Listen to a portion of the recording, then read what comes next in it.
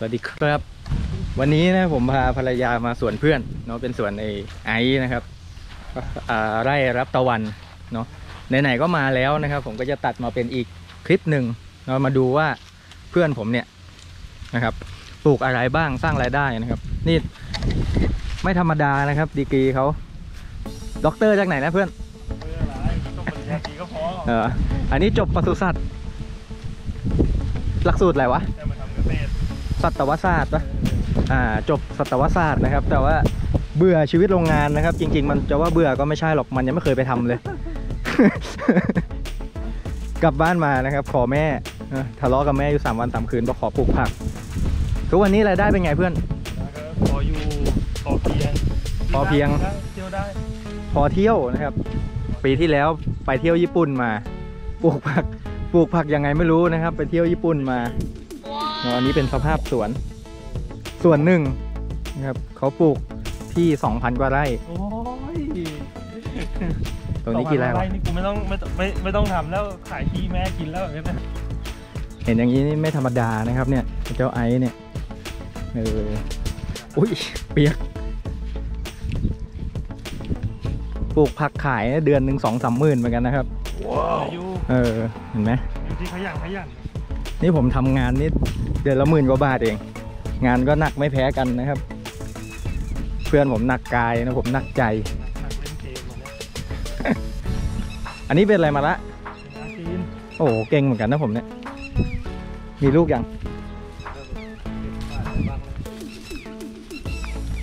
เอานี่แหละลกจัดแรงตัดไม่ไหวทำคนเดียว อันนี้เป็นมะระจีน ใช่ปะจะถ่ายเกี่ยวๆหน่อยก็ได้อืมต้อง เรียวๆหน่อย ของจริงนะครับมะระจีนมะระจีนนี่ปลูกไว้แค่นี้เหรอร่องหนึ่งกี่ต้นวะเพื่อนเกือบห้าสิบได้มั้งเกินห้าสิบต้น อันนี้ให้โรงพยาบาลเป็นหลักตรงนั้นเราจะขายเป็นลูกไม่ธรรมดาถ้าลูกใหญ่ก็ลูกละยี่สิบถ้าลูกอ่าใส่สองลูกสองลูกยี่สิบเหมือนกันอืมขายขายเป็นแพ็คละยี่สิบแหละใช่ปะ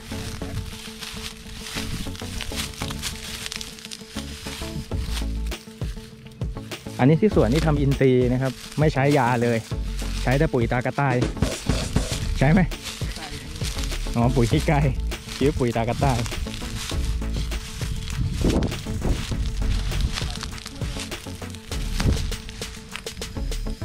ไปเองนะไม่ไปหรอก ในนี้ปลายังอยู่ไหมเพื่อน ได้จับขายไหม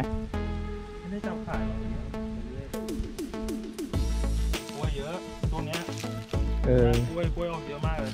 กล้วยนี่ไม่ได้ปลูกแค่ว่าเป็นอ่าเก็บขายนะครับ จริง ๆ แล้วเนี่ยเก็บขายนี่เป็นเป็นผลพลอยได้นะเพื่อนผมนะครับจริงๆแล้วอ่าหลักการของการทำเกษตรอินทรีย์นะครับ จะต้องมีแนวกันชน เนื่องจากว่าจะเห็นว่าข้างๆกล้วยเนี่ยเป็นอ้อย ที่จริงต้องหนากว่านี้อ่าอ้อยนี่ไม่ใช่ของเพื่อนนะครับ เป็นอ้อยใครก็ไม่รู้ทีนี้อย่างที่เรารู้นะครับ อ้อยเนี่ยต้องฉีดยาหนักมาก ทีนี้เราทำอินทรีย์ข้างๆทำเคมีเนี่ยอ่า เราจะต้องป้องกันนะครับ โดยหลักแล้วเนี่ยเขาจะต้องมีพืชกันชนแล้วก็คูน้ำอ่าเวลาลมมาเนี่ยก็จะติดกล้วย จริง ๆ ไม่ติดหรอกครับมันห่าง แต่ว่าถ้ามันต้องถ้ามันแน่นต้องให้กล้วยมันแน่นกว่านี้อ่าใช่ไม่ถึงปีเลยถ้ากล้วยขึ้นแน่นเนี่ยลมพัดมานะครับ ไอตัวสารเคมีก็จะติดอยู่ตรงนั้นหมดนะครับถัดจากกล้วยมาก็ เป็นคูน้ำนะครับ ดักสารเคมีอีกชั้นหนึ่งเนาะดีเลยดีเลย มาละอันนี้ลูกละยี่สิบใช่ไหมสองอ่าเป็นแพ็คเนาะละกันอ่าเป็นชุดนะครับชุดละยี่สิบาท ถ้าถ้าลูกใหญ่ก็ลูกเดียว ขายถูกนะก็คิดดูครับว่าไอ้ที่ห่อหนังสือพิมพ์ไว้เนี่ย ก็ลูกหนึ่งนะครับ ลองนับลูกละยี่สิบโอ้เป็นร้อยนี่แบงค์หอมไหมมีงอกเลยมันจะลงไป อันนี้เขาหอม หอมแบงเออหอมหอมอ่าปลูกไม่ทันต้นหอมที่เราใช้กินก๋วยเตี๋ยวทุกวันไงนี่แปลงเก่ามันหมดแล้วไงมันปลูกไม่ทันหมดเลยจะสังเกตว่ารกนะครับ เนื่องจากว่าด้วยความเป็นอินทรีย์เนี่ยเราจะฉีดยาไม่ได้ ถึงจะฉีดก็ห้ามให้คนเห็นตัดเอาอย่างเดียวนี่เออเนาะตัดไม่ทันเลยจริงๆเขาเขาแอบใช้ปุ๋ยด้วยแหละแต่แต่ผมไม่อยากบอก เพราะว่าเขาวันนั้นเขาทักไปถามปุ๋ยที่บ้านผมเหลือไหมผมก็ทำอินทรีย์เหมือนกันแหละแต่ว่าบ้านปุ๋ยบ้านผมก็มีเหลือครับมุ้งอ่าอันนี้ผักบุ้งมุ้งก็แปลงลบมันปลูกเป็นชุด ผักบุ้งเนี่ยผมเคยมาช่วยเขาส่งนะครับ ส่งทีหนึ่งก็ยี่สิบสามสิบกิโลแล้วแต่ออเดอร์อะเออช่วงนั้นมึงส่งทุกวันเนี่ยเออช่วงอืมช่วงนี้มันทำภาคอย่างอื่นเยอะด้วยอาทิตย์ละสองครั้งอะอืม ตรงนี้มันเป็น มันเป็นที่นาเก่าอ่า เราเปลี่ยนจากที่นาให้มันสามารถปลูกผักได้ เพราะส่วนใหญ่เขาจะบอกว่าที่นามันทำอะไรต่อไม่ได้ครับ ดินเหนียวราก็ทำให้เขาอ่าดูเลยสะว่าสมสารเคมี เราทำให้เขาดูว่ามันพวกนี้มันปรับปรุงได้เนาะใช่ใช่แต่มันต้องใช้ระยะเวลาสักหน่อยหนึ่ง ต้องใช้ความอดทน ใช่ใช่มันปลูกมันที่จริงมันปลูกได้ที่นาเพราะตรงนี้มันเป็นที่นาเก่าด้วย สังเกตว่าดินเนี่ยมันจะเป็นดินก้อนใหญ่ อืม จะไปดินมันเหนียวที่เราปลูกพวกไม้ผะไม้ใบอะ เราก็ปรุงดินมัน ให้มันล้วน ไม่ได้ให้ดูว่ามันดินมันล้วนแค่นั้นไหนเดินไปดูวะล่ะอยู่ไหนอะเนี่ยแปลงนี้ก็ได้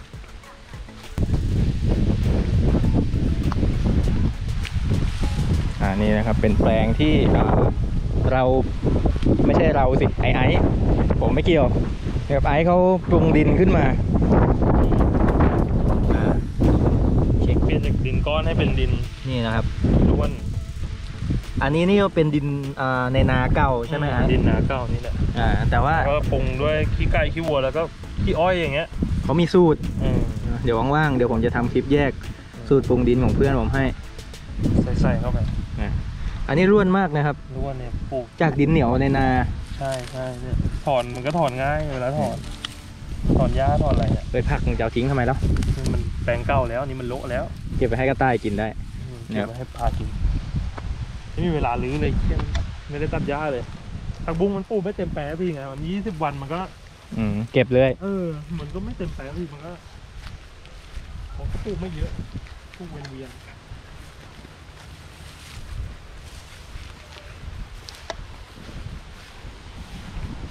อันนี้เป็นตัวอย่างนะครับของคนที่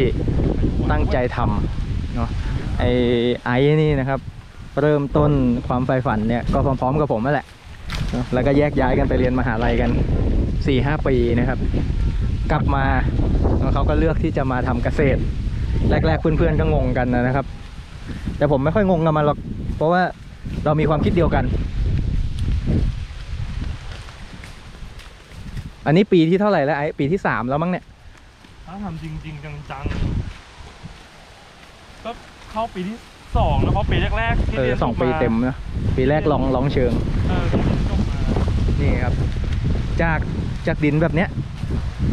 อ่าจากดินก้อนๆแบบเนี้ยพอปรุงดินแล้วก็จะเป็นลักษณะเมื่อกี้ เอออันนี้งามมากนะครับเนี่ย เชื่อเปล่าว่าไม่ได้ใส่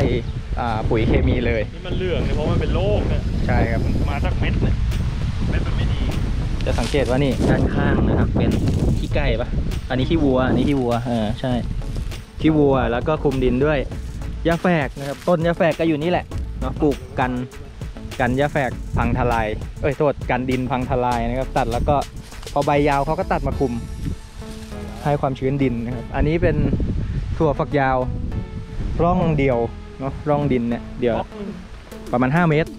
ใช่ป่าววะใช่เออกว้าง 5 เมตรนะครับ ได้ 4 แถว 4 แถวนี้ตัดจริง ๆ จังๆก็ไม่ไหวเหมือนกันนะเนี่ย ถ้าออกพร้อมกันหมดนี่ขายไม่ทันจุดนู้นนะอ้อมจะทำไล่ๆกันมาอันนี้ก็เป็นของเก่าตัวฝักยาวเก่า เวลาพืชเขาหมดอายุอะนะครับ มันก็จะโทรมลักษณะนี้นี่นี่เพื่อนผมก็จะปล่อยไว้ก่อน ให้มันให้มันแห้งให้มันย่อยสลายไปตามธรรมชาติเนาะเพราะว่าเราจะไม่กำจัดเห็นหญ้ารกๆนี้ก็คือเดี๋ยวปล่อยแล้วก็ไถกลบทีเดียวอ่าเป็นปุ๋ยพืชสดหมักไปในดินนะครับ อันนี้ครบวงจรเนาะในในส่วนของพืช นี่ก็ถั่วฝักยาวตัวฝัก ยาวแปลงกำลังเก็บเนี่ยอ่าตัวนี้กำลังเก็บบอกหน่อย บอกหน่อยว่าถั่วฝักยาวเนี่ยส่งให้กับอ่าโรงพยาบาลแห่งหนึ่งนะอืมส่งโรงพยาบาลด้วยเออ ส่งร้านเขาเรียกว่าร้านอะไรอะร้านร้านร้าเป็นนที่เป็ขายนข้าวกินซีอ่าเป็นหมาดของของผักนะครับถั่วฝักยาวนี่ส่งที่ส่งโรงพยาบาลนี่เขาซื้อโลเท่าไหร่เพื่อนส่งโรงพยาบาลโลละสี่สิบห้าโลละ45นะครับ ส่งส่งร้านอ ก็จะแพ็คเป็นถุงถุงละสองขีดเราส่งถุงละสิบห้าบาท อ่าสองขีดสิบห้าบาทเนาะแพ็คเลือกเฉพาะสวยๆไปใช่ใช่อ่าก็ปนๆกันไปเล็กๆสองขีดสิบห้าบาทอ่าอ่า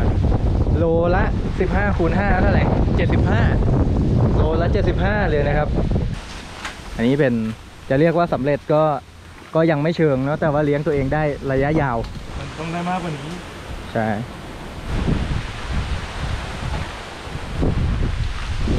นี่นะครับเพื่อนผมคนนี้ค่อนข้างสู้เหมือนกันนะแม่เขาเป็นข้าราชการนะครับ แม่เป็นปลัดเทศบาล ก็มีความมุ่งหวังอยากให้ลูกเนี่ยเรียนสูงจบมาเป็นเจ้าคนนายคนแต่ว่าเขาเลือกที่จะมาทำเกษตรล้มลุกคุกคานกันมาด้วยกันตั้งแต่แรกเลยนะครับ เกื้อหนุนกันมาสองคน จนวันเนี้ยเขาเลี้ยงตัวเองได้ ถ้าพูดถึงรายได้เนี่ยเยอะกว่าผมอีกเนาะเดือนละสองหมื่นสามสองหมื่นสี่มีแน่ๆนะ ถ้าขยันก็สี่หมื่นก็ถึงอะอยู่ที่เราดีๆอะถ้าวางแผนปลูกดีๆอะได้เนอะมันอยู่ที่ขอบนะครับ ทีนี้อ่าส่วนสำคัญของเพื่อนนะครับ เดี๋ยวผมจะจะสอดแทรกให้ก็คือเรื่องของแบรนด์เนอะเมื่อกี้เพื่อนเขาพูดว่าอ่าแพ็คขายเนาะแพ็คขายถุงละ เท่าไหร่วะสิบห้าบาทหน้าบ้านอ่าถุงละ 2 ขีดนะครับ 15 บาท ถ้าหากว่าเราเองเนี่ยหิ้วไปขายที่ตลาดนะครับ ไม่มีใครซื้อหรอกครับสองเอ่อสองขีด 15 บาทเนี่ยแพงมาก เนาะเราซื้อกำละ10บาทเรายังยังรู้สึกว่าแพงเลยนะครับ แต่ว่ามีคนยินดีซื้อ ยินดีแค่ไหนก็ก็ปลูกไม่ทันนะครับลองเมื่อกี้เนี่ยไม่พอ เพราะว่าคนเขาไว้ใจเนอะเขาไว้ใจอ่าเพื่อน ไว้ใจแบรนด์ เนื่องจากว่าไม่ใช่ยังสวนคผลิตอะอ่าสวนเนี่ยครับใครก็เข้ามาดูได้ เราเข้ามาเราก็เห็นว่าเขาใช้กระบวนการอะไรบ้างเนาะเพราะฉะนั้นผักที่ออกไปเนี่ยมันปลอดภัยเนาะคนกินถ้าเขามั่นใจว่าผักมันปลอดภัยเนี่ยมันก็ขายได้ คนเขาก็แพงก็ซื้อครับ คนปัจจุบันเนี่ยมีเงินนะผมเชื่อว่ามีเงิน แล้วก็ต้องการสิ่งดีๆ ให้กับให้กับตัวเองให้กับครอบครัวนะเพราะฉะนั้นถ้าเกิดว่ามั่นใจว่ามันดีเนี่ยมันก็ขายได้ ทีนี้ถ้าหากว่าใครอยากจะทำนะครับ ก็ต้องสร้างแบรนด์ให้ให้มีความเชื่อมั่นนะไอ้เรื่องชื่อเสียงเป็นที่รู้จักเนี่ยมันต้องมีอยู่แล้ว แต่เหนือสิ่งอื่นใดก็คือเราต้องมีคุณธรรมนะครับ ต้องมีความเชื่อมั่น ผมกับไอ้เจ้าไอซ์เนี่ยเคยเคยไปเจอช็อตหนึ่ง นะเป็นเป็นแบรนด์ผักแบรนด์หนึ่งแล้วกันเนาะเป็นแบรนด์ผักแบรนด์หนึ่งก็เคยเคยไปพยายามจะคุยดีลกันนะครับ ก็ผมไม่ได้ไปด้วยนะวันนั้นอะไอ้เจ้าไอซ์เนี่ยเขาไปก็ไปพูดคุยนะครับบังเอิญไปเห็นว่าเทคนิคการที่ทำให้ผักเขางอกงามก็คือ ปุ๋ยตาอะไรวะอยู่ตามเรือใบเออปุ๋ยตาเรือใบนะครับ แต่ว่าเขาขายเนี่ยเขาขายความเป็นอินทรีย์แล้วก็มีปุ๋ยเคมีอยู่ในไร่ เราก็เลยรู้สึกว่าเอ้ยโอ้โหกับตัวเองมันยังไม่ซื่อสัตย์เลยอะแล้วกับคนอื่นมันจะไว้ใจยังไงนะครับผมเยอะนะพอเยอะปุ๊บมันก็ต้องอ่าเร่งเนาะใช่พอออเดอร์เยอะปลูกไม่ทันก็ต้องหาตัวช่วยนะครับ ผมสองคนก็เลย คุยกันเองนี่แหละว่าเราจะไม่เป็นแบบนั้นนะเนาะก็ทุกวันนี้ก็สองปีกว่าแล้วของไอซ์นะของผมยังไม่ได้ยังไม่ได้ทำเป็นการค้านะครับ จะทำเป็นเชิงอ่า ความสุขก่อนตอนนี้ เนื่องจากว่าผมไม่ได้ทำงานอยู่กับบ้านเนาะเจ้าไอซ์เขาทำงานอยู่กับบ้าน ก็นี่เป็นสภาพสวนโดยรวมเดี๋ยวดู มันหมดยุคแล้วนะครับสำหรับคนที่คิดว่าเกษตรเป็นงานที่อ่าตักต่ำจริงๆมันก็หนักกันแหละมันก็หนักแต่อ่าแต่มันมีความสุขเนาะมันไม่ได้หนักเท่าสมัยก่อนอยู่ที่ใช่เดี๋ยวนี้เทคโนโลยีนวัตกรรมอะไรมันก็เข้ามาที่ราชการจริง ๆ แล้วเนี่ย ทำเกษตรกับเป็นพนักงานออฟฟิศเนี่ยมันไม่ต่างกันหรอกครับเหนื่อยกายก็เหนื่อยใจเนาะเออเหนื่อยใจแต่ว่าสบายกาย อันนี้เหนื่อยกายแต่สบายใจ ตื่นเช้าทุกวันมามีความสุขพร้อมที่จะทำงานเนี่ยมันก็มันก็ดีกว่านะเออดีกว่าโอ้โหตื่นเช้ามากูจะต้องรีบหนูเดี๋ยวรถติดกลับมาต้องรีบแข่งกับคนนู้นคนนี้ ใช้ชีวิตแบบนั้นผมว่ามันจะจิตตกซะมากกว่านะเพื่อนผมก็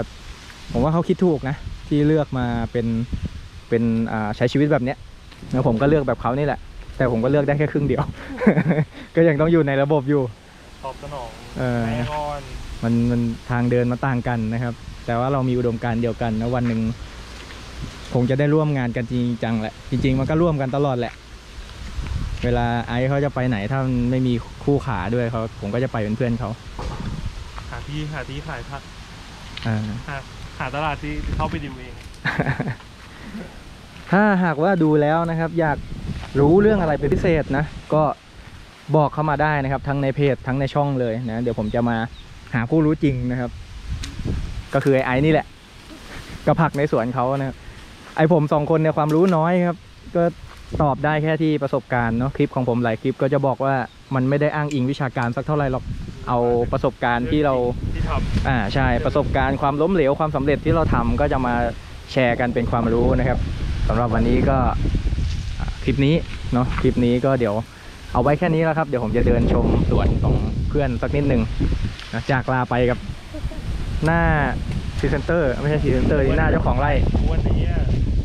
bye bye ก่อน bye bye ก่อนอ่าสวัสดีครับไม่อยากยิ้มเลย